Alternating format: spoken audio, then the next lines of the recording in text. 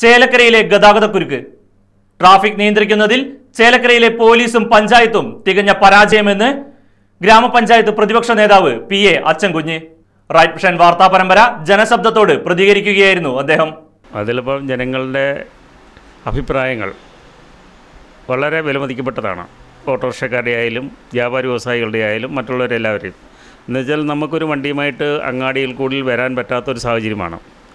അതുപോലെ ഫുട്പാത്ത് കച്ചവടക്കാർ ഈ കച്ചവടക്കാർ ഫുട്പാത്തിലേക്ക് സാധനങ്ങൾ ഇറക്കി വെച്ചിട്ട് ഫുട്പാത്ത് വഴി ജനങ്ങൾക്ക് നടന്നു പോകാൻ പറ്റാത്തൊരു സാഹചര്യം. പിന്നെ വണ്ടികളുടെ പാർക്കിംഗ്. വണ്ടികൾ പാർക്ക് ചെയ്യുന്നതിന് ഒരു നിയന്ത്രണവും കൺട്രോളും ഇല്ലാത്ത രീതിയിലുള്ള ഒരു പാർക്കിംഗ് രീതിയാണ് ഇപ്പോൾ അങ്ങാടി നമ്മൾ കണ്ടുവരുന്നത്.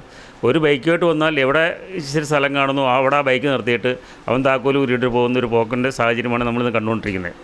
അത് നമുക്ക് വളരെയേറെ ഗുരുതരമായ പ്രശ്നങ്ങളുണ്ടാക്കും. അപകടങ്ങളും മരണങ്ങളും വരെ സംഭവിക്കാനുള്ള സാഹചര്യം ഉണ്ടാവും ഇതിപ്പോൾ ഇതിനെ നിയന്ത്രിക്കേണ്ട പഞ്ചായത്ത് നിർദ്ദേശം കൊടുത്താലും പോലീസിന്റെ ഭാഗത്തുനിന്ന് ഇതിന് ശക്തമായ രീതിയിലുള്ള നടപടികൾ ഉണ്ടാവണം. ഈ ഒരു കാര്യത്തിൽ പോലീസിന്റെ ശ്രദ്ധ വളരെ കുറവാണ് എന്നാണ് എനിക്ക് തോന്നുന്നത്. അത് അതിനെ നമുക്ക് അംഗീകരിക്കാൻ പറ്റില്ല. ഇവിടെ ഇതിന് മുമ്പ് ഇതേപോലെ വന്നിട്ട് നമ്മൾ പഞ്ചായത്ത് പ്രസിഡന്റോട് പറഞ്ഞ് മറ്റും പറഞ്ഞിട്ടുള്ളതാണ്. പോലീസിന് നിർദ്ദേശങ്ങൾ കൊടുത്തുകൊണ്ട് ഫുട്പാത്ത് കച്ചവടം ഫുട്പാത്തിൽ ഇറക്കി വെച്ചിട്ടുള്ള കച്ചവടം ജനങ്ങൾക്ക് സൗകര്യപ്രദമായ രീതിയിൽ നടക്കുന്നതിന് വേണ്ട സൗകര്യങ്ങൾ ചെയ്യണമെന്നുള്ളത് നമ്മൾ പറഞ്ഞിട്ടുള്ളതാണ്. പോലീസിന് നിർദ്ദേശം കൊടുത്തിട്ടുണ്ടോ. പോലീസ് ഇപ്പം ആ ഒരു കാര്യത്തിലേ പോലീസ് ഇട്ടേക്ക് ട്രാഫിക്കിന് ഒരു നിയന്ത്രണവും ട്രാഫിക് കാര്യത്തിൽ പോലീസിനില്ല. കോവിഡിന്റെ സമയത്ത് നമ്മുടെ പോലീസ് സ്റ്റേഷന് മുന്നിൽ കുറച്ച് പോലീസുകാർ എന്നിട്ട് വരുന്ന വണ്ടികളൊക്കെ ചെക്ക് ചെയ്ത് വിടുന്ന ഒരു സംവിധാനം നമ്മൾ കണ്ടിട്ടുണ്ട്. ഇന്ന് ഒരു സ്ഥലത്തുമില്ല. പോലീസുകാരിപ്പം കാണുന്നുണ്ട് ആരെങ്കിലും മാസ്ക് വരാതെ വരുന്നുണ്ടെങ്കിൽ അവന്റെ പേർക്ക് അഞ്ഞൂറോ ആയിരോ പതിനായിരോ ഇത് എഴുതുക.